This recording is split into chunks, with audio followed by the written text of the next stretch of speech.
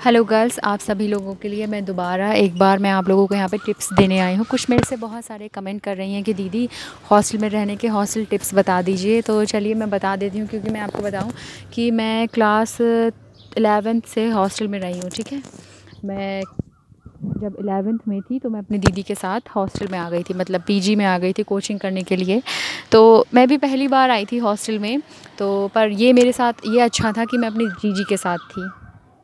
ये बहुत अच्छा था कि मैं अपनी जीजी के साथ थी, क्योंकि देखिए, नई नई आती तो पता नहीं मैं मैं भी हॉस्टल में रह पाती या नहीं रह पाती बट ऐसा नहीं होता। मेरा थोड़ा नेचर अलग है तो मैं रह लेती और अभी भी मैं अच्छे से रह लेती हूँ हॉस्टल्स में मतलब मुझे कोई दिक्कत नहीं होती है। किसी के साथ भी मेरा एडजस्टमेंट हो जाता है, लड़कियों के साथ स्पेशली और एक बात और है मेरे साथ कि टू सीटर हो या फोर सीटर हो या थ्री सीटर हो, मैं आराम से किसी भी सीटर में रह रह लेती हूँ ओके उसके लिए मैं आपको टिप्स दे रही हूँ कि आपको कैसे रहना है। देखिए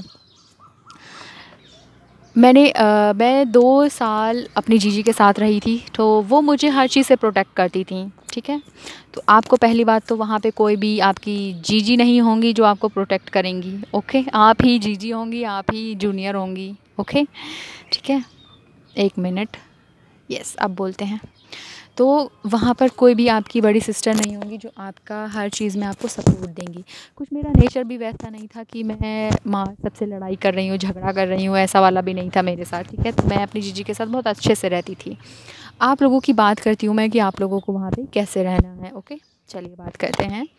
देखिए पहली बात, जितनी भी छोटी हैं या बड़ी हैं, जो भी हॉस्टल जा रहा है, कुछ तो हॉस्टल में रह के गई हैं, या कुछ हॉस्टल में रह रही हैं, या रह चुकी हैं, या उसके बाद वो कहीं वहाँ जा रही हैं, ठीक है? तो मैं एक चीज़ बता रही हूँ। सबसे पहले छोटे वालों की, ठीक है? छोटे वालों की बात करते हैं कि आपको वहाँ पर कैसे रहना है। पहली बात, देखिए, जब आप जाएँगी ना, आपका एक सर्किल होगा, अगर आप रूममेट्स के साथ अच्छे से रहिएगा, ठीक है? अच्छे से रहिएगा और चा मतलब दो रूम दो रूममेट तो आपको मिलेंगी नहीं फोर सीटर ही मिलेगा, चार लोगों, चार लोग ही आपको मिलेंगे। चारों के साथ अच्छे से रहिएगा। ठीक है? ये नहीं कि मैं इसके ही साथ हूँ तो मैं इसके ही साथ हूँ ऐसा नहीं होना चाहिए कि उन दो लोगों की लड़ाई हो गई है तो आपकी दोस्त उससे बात नहीं कर रही तो इसका मतलब आप ही उससे बात नहीं करोगे। ऐसा बिल्कुल मत करिएगा। ठीक है?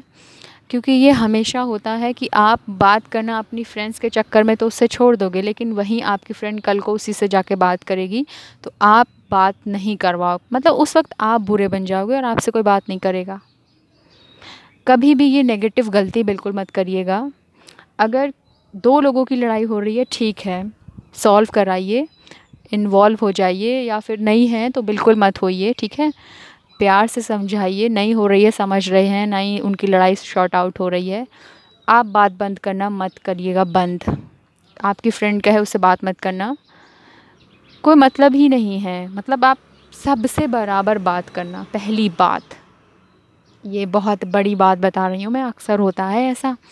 मैं आपको एक केस बता देती हूँ, ठीक है? मैं लखनऊ में ही रह रही थी, ठीक है? पहले भी रह रही थी। अभी भी रिसेंटली तो घर गई हूँ मैं। पिछली बार जून में गई थी ठीक है? तो बात करते हैं। तो ना मेरी रूममेट थी। उनकी आ, उनकी एक फ्रेंड थी जो उन्हीं के साथ आई थी जॉब करने। उनकी गवर्नमेंट जॉब लगी थी। तो उनका कोई पर्सनल इशू रहा होगा उस लड़की का। तो उनको ऐसे देखा किसी ने। तो सारी हॉस्टल्स की लड़कियों ने उस कहा कि अब इस लड़की से बात नहीं करेंगे। और जबकि वो दोनों फ्रेंड ठीक है? मैंने कहा मैंने कहा, तुम ऐसा क्यों कर रही हो? तुम्हारे साथ आई थी वो। उसकी पर्सनल लाइफ में कुछ भी चल रहा है, तुमको उससे मतलब नहीं होना चाहिए।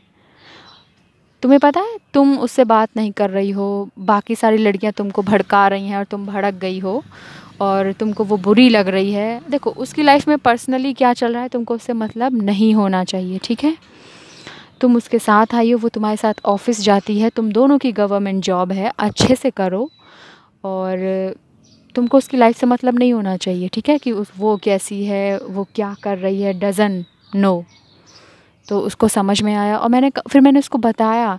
मैंने कहा, जो तुमको ये सारी लड़कियाँ जितना भड़का रही हैं और तुम भड़क गई हो ना, यही लड़कियाँ कल उसके साथ जाके ना, उसके साथ बाहर जाएँगी और घूमेंगी और उसके साथ मज़े करेंगी, तब तुम बात नहीं कर पाओगी उससे फिर। तुम किस, उससे बात करोगी? मैंने कहा, तुम अपना वो चीज़ मज़बूत करो, ठीक है? तो मैंने उसको समझाया, उसको समझ आ गया, ठीक है? अगले दिन से उसने नॉर्मल दोनों का बिहेव हो गया। दोनों आपस में बात करने लगी ऑफ़िस साथ जाने लगी। पता, एक ही दिन बीता कि सारी हॉस्टल की लड़कियाँ उस लड़की से जैसी नॉर्मल बात कर रही थी ना, सब बात करने लगी, सब उसी का गुणगान करने लगी। मैंने कहा, देख लिया, अगर तुम बात नहीं करती और वो सब फिर भी बात कर मतलब यही होता है हमेशा हॉस्टल में, पॉलिटिक्स चलती है।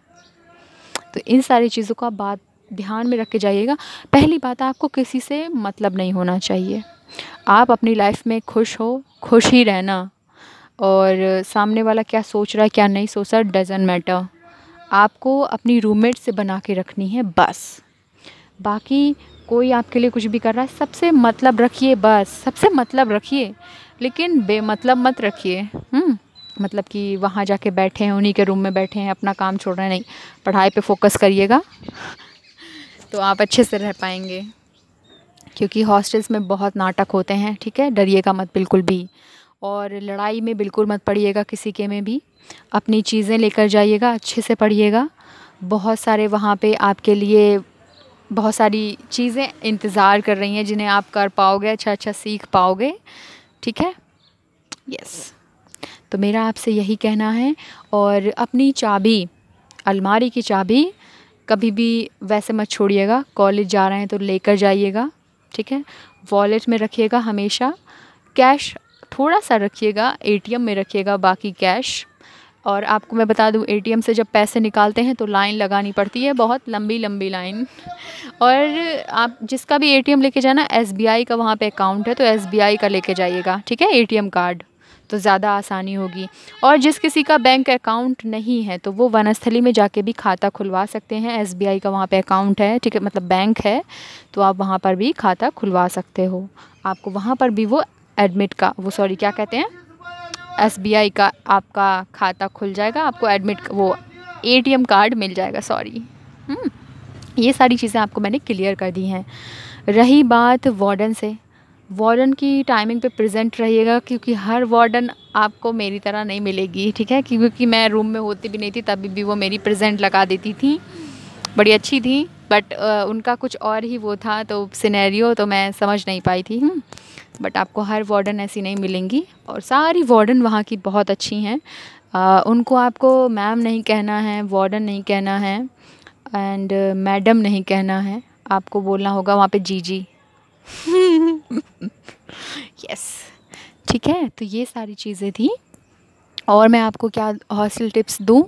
यस आप बाहर कहीं भी जा सकते हो मतलब यूनिवर्सिटी के अंदर आप कहीं भी जा सकते हो फ़ोन लेके आप शाम को कहीं भी घूम सकते हो यूनिवर्सिटी में।